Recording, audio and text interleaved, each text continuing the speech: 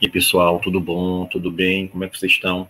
Olha, estás estudando cinética química, importantíssimo, estuda a taxa de desenvolvimento da reação, ou seja, a velocidade da reação. Aí eu quero falar de catalisador. Por que catalisador? Porque vários fatores alteram a velocidade da reação. Energia de ativação, na é verdade, temperatura, superfície de contato, concentração do reagente, pressão, vários fatores. Mas tem um que é muito curioso, muito, que é o catalisador. Então, o que é catalisador? Vem cá. Catalisador é uma substância. Escutou bem o que eu falei? É uma substância que acelera a reação. Mas, oxe, temperatura acelera, concentração do reagente acelera. Calma. Primeiro é uma substância. E como é que esse catalisador acelera a reação? Diminuindo a energia de ativação. Exatamente. Então, ele aumenta a velocidade da reação, diminuindo a energia de ativação.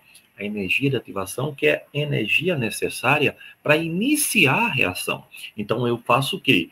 Eu diminuo essa energia de ativação. De que maneira, Guga? Achando um caminho onde a reação é mais fácil de acontecer.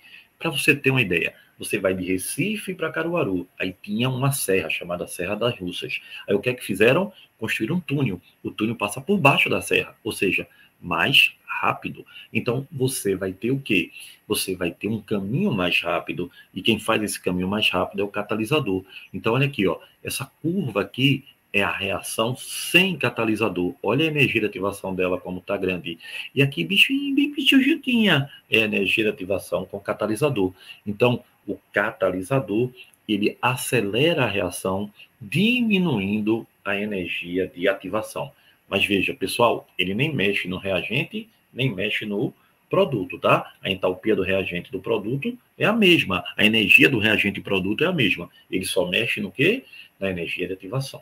Então, olha bem, o catalisador, quando ele está na mesma fase do reagente, por exemplo, iodeto é um catalisador, está na mesma fase da água oxigenada, aquoso e aquoso. O cloro, gás cloro, gasoso e N2O gasoso. Aí eu digo que isso é uma catálise homogênea.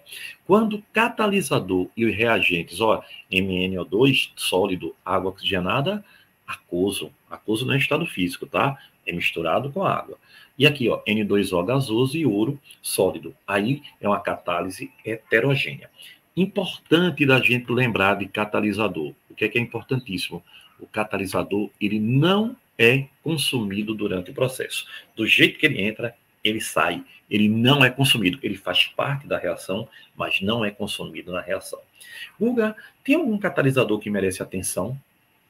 As enzimas, as enzimas que são catalisadores biológicos. Pessoal, sem enzima, a gente não tinha como digerir nada, como viver, como fazer nada. A gente estava morto. Então, as enzimas são proteínas com função catalítica. Então, catalisador são que substâncias. Luz pode ser catalisador? Não! Energia pode ser catalisador? Não! Só pode ser catalisador uma substância. Uma substância que acelera a reação como? Diminuindo a energia de ativação e não é consumido durante o processo. Isso! Então, pessoal, catalisador é a dica do dia. Um monte de beijo.